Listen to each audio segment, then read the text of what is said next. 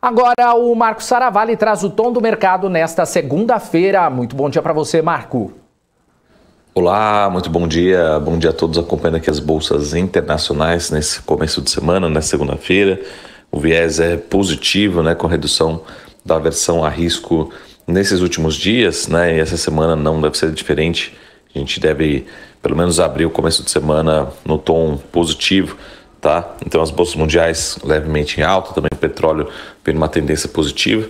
Tá? O principal destaque dessa semana são várias reuniões dos, dos principais bancos centrais ao longo da semana, então a gente precisa acompanhar muito a política monetária de diversos países, mas na segunda-feira a gente não tem grandes novidades.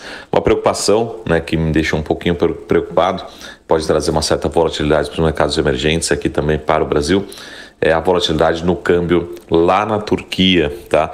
É, usualmente a Turquia é um par, é um, é um país comparável ao Brasil em alguns quesitos, né? Uh, e com essa volatilidade, principalmente no câmbio na moeda local, pode trazer alguma aversão a risco para os países emergentes. Mas a gente acredita que não, não tenha tanto contágio assim, uh, e a gente pode engatar realmente mais um dia de alta por aqui, um começo de semana positivo, tá bom?